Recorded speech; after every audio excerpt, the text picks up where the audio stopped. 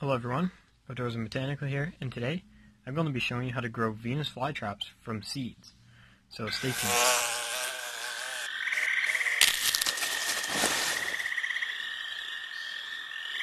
Alright, so I got two containers with DCXL seeds in them, and one with Black Pearl Venus flytrap seeds in it.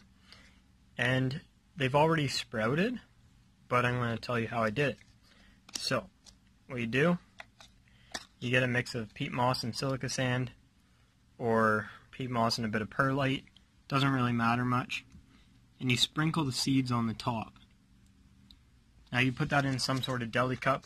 The size doesn't matter. Just make sure it has a lid. Poke a few holes in the top. And then put these in the fridge for one to two months. And uh, make sure they're always damp throughout that time. Then when you take them out of a fridge, after about two weeks, this is what it will look like. So as you can see, the seed is still on the end, but there's the stem of the fly trap coming out, and it's about to drop the seed coat that's on the end. And in another two weeks or so, they'll have two little leaves and start to be producing traps.